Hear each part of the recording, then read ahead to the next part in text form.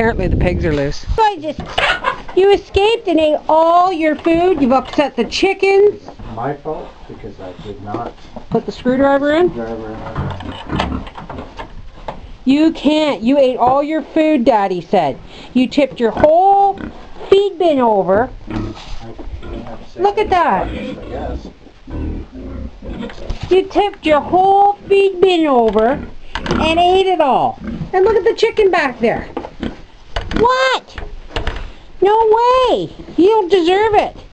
I was going to bring you a hot dog bun. No way. We're giving that food got in on the table.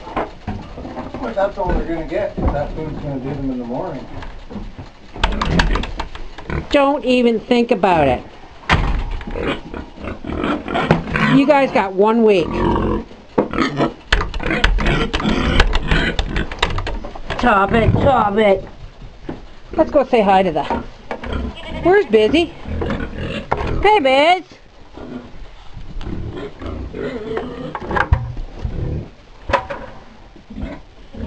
You have not been doing your job because I don't think these girls are pregnant.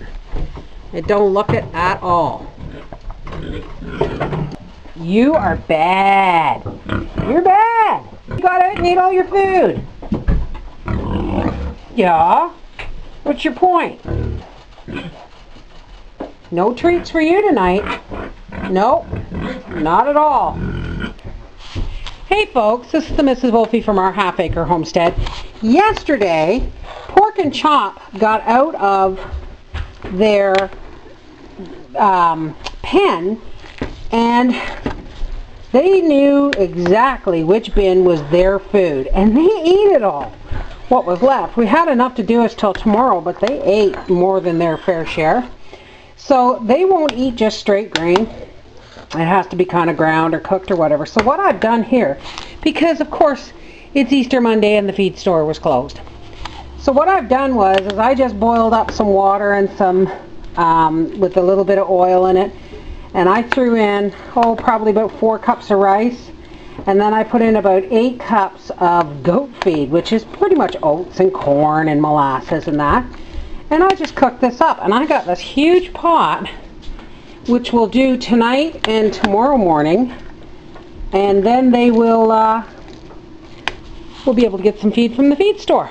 Unless this works and is cheaper I just may do this. Anyway, this is Mrs. Wolfie from our half acre homestead saying, pig food, yummy. Little buggers, eh?